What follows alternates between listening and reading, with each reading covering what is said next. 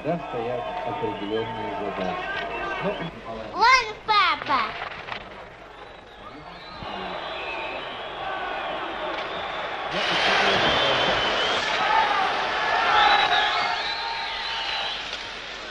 С ним было приятно играть, потому что он мог и обыграть, и создать, и отдать.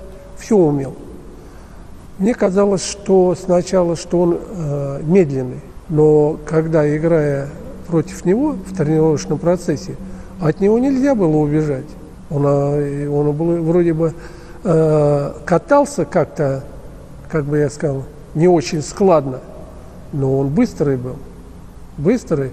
И, конечно, он в единоборстве был просто красавец. Когда играли в Инсбурге, так, то мы проиграли сборной Чехословакии э, 0-2, и нас оставили троем.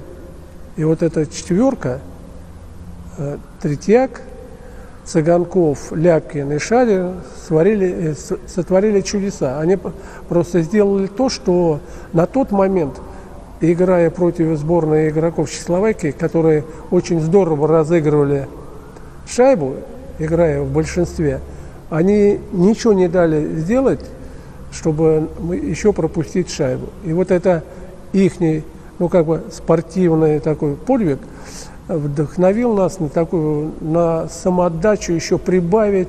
И мы вытаскивали после этой, когда они выдержали, вытащили все из себя, чтобы победить и выиграть Олимпийские игры. Я никогда не забуду. И там ключевую роль вот это сыграл Шадер. Точность его броска, неожиданность броска, это было, было, это было. Он вроде показывает, что отдает, а сам мог бросить. Когда звено Спартака играло большинство э, против э, любой команды, Шадрин там играл э, главную роль. Почему? Потому что он или Ляпкин отдает, Ляпкин забивает, или Саша Якушев, он в пустые забивает.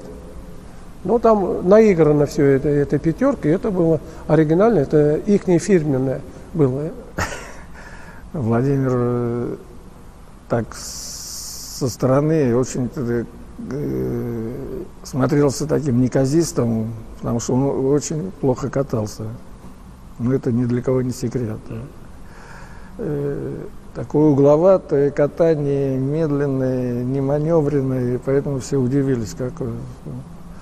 Ну вот это мастерство вот Всеволода Михайловича как тренера, он действительно провидец такой. Вот тут он увидел в этом таком еще совсем молодом пареньке, увидел, что этот человек может э, создать э, игру целой, э, целого звена, целой тройки и помочь своим партнерам. Почему? Потому что он ну, такого плана, интеллектуального плана, центр форвард.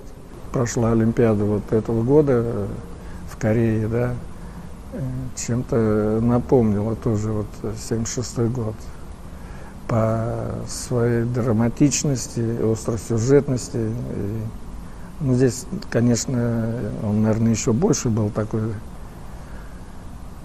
острый, если там за минуту, там за две минуты удаляют игрока и там сравнивают за минуту. Это, конечно, у нас в этом плане все было пораньше, да, мы сравнивали, потом вышли вперед пораньше. Но сам дух игры, он чем-то был схожий.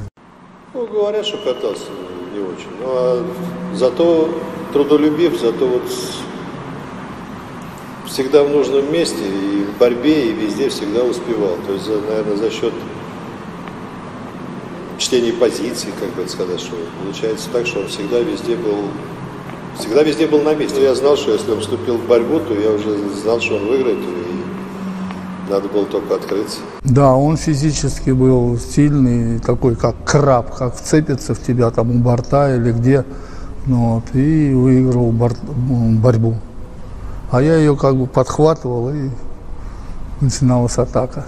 Он смещался влево, показывая, что бросает, ну, вот, а я здесь справа.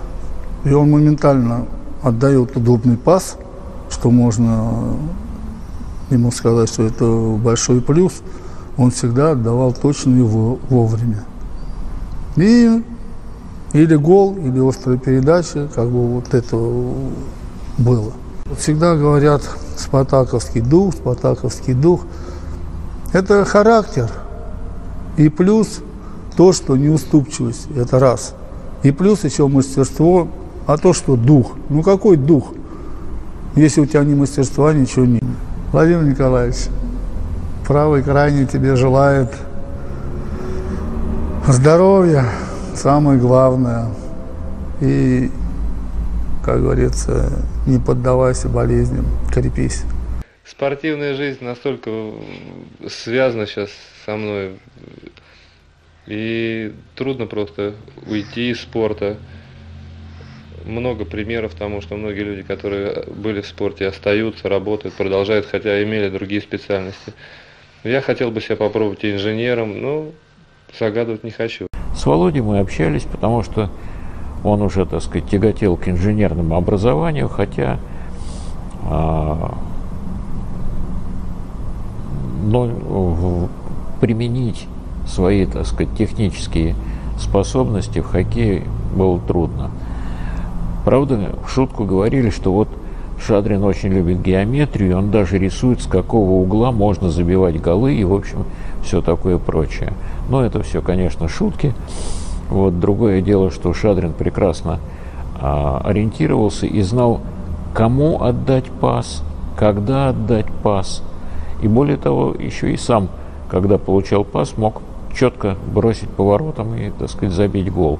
Так что это был, скажем так, форвард, а, центральный нападающий универсального плана, а в защите он отрабатывал тоже блестяще.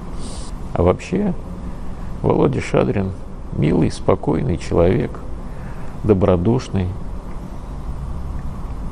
И с ним как-то легко и приятно общаться. Дай Бог здоровья, это главное.